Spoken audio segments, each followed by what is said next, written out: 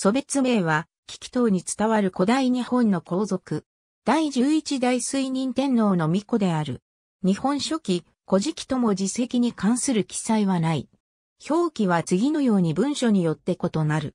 本校では、表記を祖別名に統一して解説する。第十一代水任天皇と山城の大国不遅娘の外畑と辺との間に生まれた巫女である。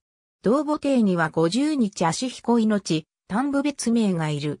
仙台旧寺本義、天皇本義では命を生んだ、水任天皇の日を丹波同将娘の新戸谷美目とし、同母兄に、岩同別名があると遺伝を記す。また、国蔵本義では、三世孫として、部位がと別名の名を伝える。妻、子について司書に記載はない。衣の、君落ち別を明瞭秘祖別名の墓に関して司書に記載はなく、宮内庁から公式に事情された墓はない。伝承として、愛知県豊田市久保町のこの口社境内には、命の墓という前方公園墳があったと言われ、伊野くん落ち別を明瞭の石碑が建てられている。小月神社省月山くん氏神として命を祀る。祖別名の子孫について、古事記では、小月の山くん、三河の遺訓、新先生四録では、小月神が記される。